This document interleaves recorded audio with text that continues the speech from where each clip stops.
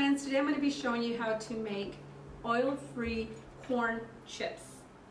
These corn chips are perfect for those who are trying to eat healthier, who are trying to lose weight and not have to deprive themselves of avoiding eating chips or corn chips.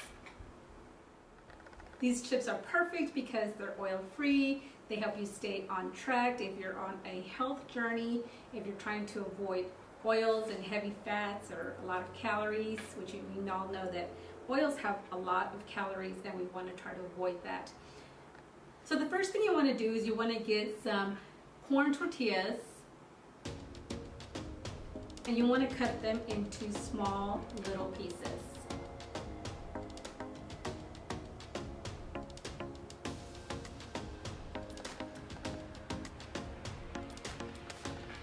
Want to preheat your oven at 375 degrees or Fahrenheit. Leave the chips in there for about 10 minutes or so. And you want to, you don't want to leave the kitchen because these can go to burnt really fast.